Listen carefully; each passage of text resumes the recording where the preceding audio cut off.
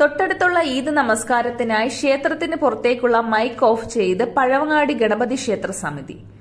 പാർക്കിൽ സ്ത്രീകളടക്കം നിരവധി പേർ പങ്കെടുത്ത ഈദ് ഗാഹിൽ തക്ബീറുകൾ മുഴക്കി വിശ്വാസികൾ പെരുന്നാൾ ആഘോഷിക്കുമ്പോൾ ശബ്ദ ക്രമീകരണത്തിലൂടെ സഹകരിച്ച് ക്ഷേത്രസമിതി കിഴക്കേക്കോട്ട നായനാർ പാർക്കിൽ ഈദ് പ്രാർത്ഥന നടക്കുമ്പോഴാണ് റോഡിന് മറുവശത്തുള്ള പഴവങ്ങാടി ഗണപതി ക്ഷേത്ര സമിതി പുറത്തേക്കുള്ള മൈക്ക് ഓഫ് ചെയ്ത് സഹകരിച്ചത്.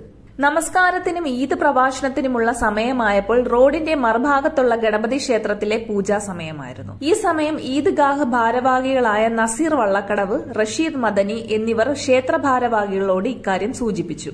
ക്ഷേത്രം അധികൃതർ മൈക്കിലൂടെ പുറത്തേക്കുള്ള ശബ്ദം ഒഴിവാക്കി. ക്ഷേത്ര കമ്മിറ്റിയും ഈദ്ഗാഹ് കമ്മിറ്റിയും പരസ്പരം കാണിച്ച മനുഷ്യ സൌഹാർദ്ദ നിലപാടാണ് യഥാർത്ഥ കേരള സ്റ്റോറിയുടെ നേർചിത്രമെന്ന് വിസ്ഡം ഇസ്ലാമിക് ഓർഗനൈസേഷൻ സംസ്ഥാന secretary C P Saleem Eid പ്രസംഗത്തിൽ പരാമർശിക്കുകയും ചെയ്തു